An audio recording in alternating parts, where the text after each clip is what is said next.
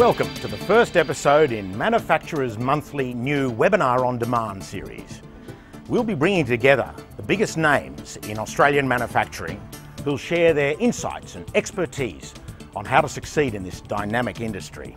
Today, we'll be discussing the top do's and don'ts of gas cylinder safety with one of Australia's leading gas suppliers, BOC.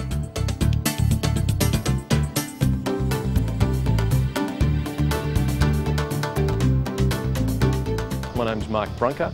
I'm the Health and Safety Manager for BOC in the South Pacific. And BOC is a supplier of industrial and medical gases, as well as gas supply systems. We also do welding products and safety equipment.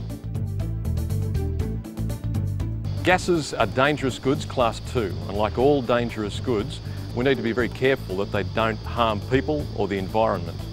And so we need to assess the risks and control them. With gases, we're talking high pressures, we're also talking the chemical properties, flammability, toxicity and oxidising. What precautions should workers take when handling cylinders? We would recommend safety shoes and a pair of gloves and preferably long sleeves. Another thing to consider is substances. Make sure you keep hydrocarbons away from the gas cylinders so we don't want any oil or grease, particularly in the threads of the valves. And leak checking is a good practice but make sure you're not using an ammonia-based leak check solution. If you're picking up from a, a, gas and gear outlet, you need to make sure that you've got the right vehicle. It needs to be not enclosed, preferably a ute, so that you can't have a build-up of gases in the load space.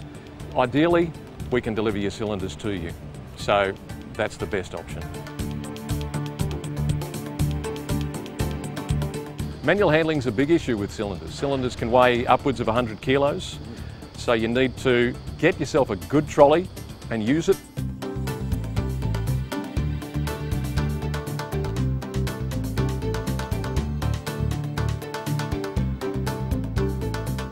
If you're moving cylinders a short distance, then trundling the cylinder is okay, uh, but make sure you don't inadvertently turn the valve on while you're doing it, so you need to be careful.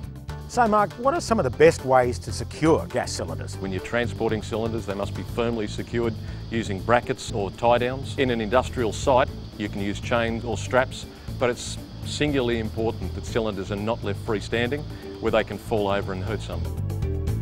If the cylinder comes to you and the valve is really hard to open or it appears to be damaged in any way, don't use it, contact your supplier and we'll come and pick it up from you. If the cylinder is damaged on your site, please don't try to disguise it. For the safety of future users of that cylinder and for the people who are filling the cylinder, just let us know about it and we'll come and get it and we'll fix it up. The last thing is never, never, never try to catch a falling cylinder. The cylinder's designed to take that impact, people aren't.